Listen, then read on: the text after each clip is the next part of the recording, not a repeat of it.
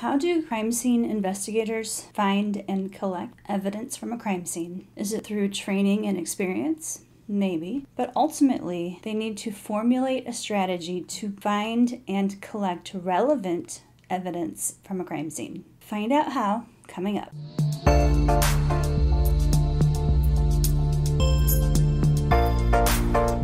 Hello, welcome back to my channel. Today I am talking about crime scene search methods. Conducting a systematic search for evidence is not as cut and dry as it may seem.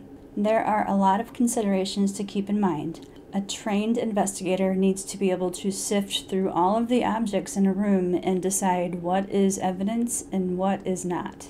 The evidence that is collected needs to answer the following questions What, when, where, who, how, and why. Different crime scenes require different methods, depending on the type of crime, the location, how many investigators are on hand to search, and the size of the crime scene. The four methods that I am discussing today the grid method, the spiral search method, the strip or lane search method, the quadrant or zone search method. The strip search pattern reminds me of getting into a line, the one that has those velvet barriers that kind of corral you like your cattle. That is what you would use if you're doing the search alone. There's also the search method that is circular or a spiral as well. The spiral circle reminds me of a yellow brick road situation, but in reverse. You would start on the outside and work your way in to the middle of whatever room you're in or area. The grid search pattern is much like the lane pattern if there's more than one person searching a particular area.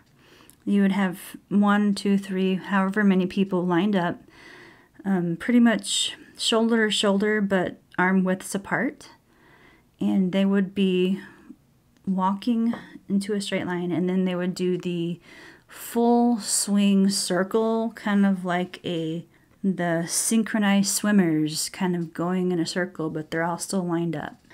Quadrant zone or sector search pattern is where they would divide things up into boxes, kind of like a grid, but then they would put the wooden stakes in the ground and they would tie ropes to cordon each of them off.